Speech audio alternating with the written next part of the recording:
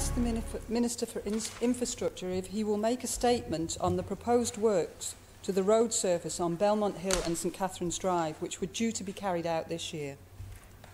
Minister for Infrastructure to reply. Thank you, Mr President, and I thank the member for the question. The Department undertook an assessment of the existing road structure and footways earlier this year. With respect to the road surface, the assessment highlighted insufficient surface material to enable the existing surface to be successfully removed and replaced with asphalt concrete surfacing. An alternative solution has been identified which will involve the thin surface material, microasphalt, being laid over the existing road surface. It had been hoped that the work would be carried out during the summer of 2017. However, the off-island specialist contractor was not able to carry out the work at the required work at that this time. This type of surface is ideally laid in warm weather, so the work is now planned for next summer.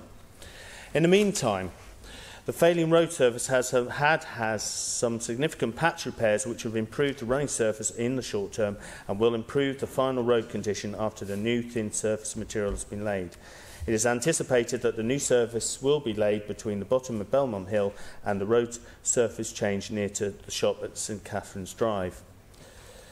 Some patching, patching work was carried out earlier in the year prior to TT, but this was for emergency safety critical work.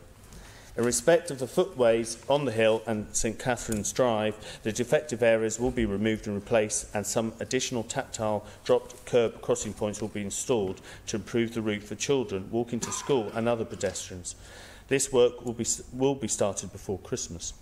I would like to thank Ms, Mrs Call MHK and Minister Thomas for their ongoing assistance, interest and support in this work, particularly in keeping the community informed.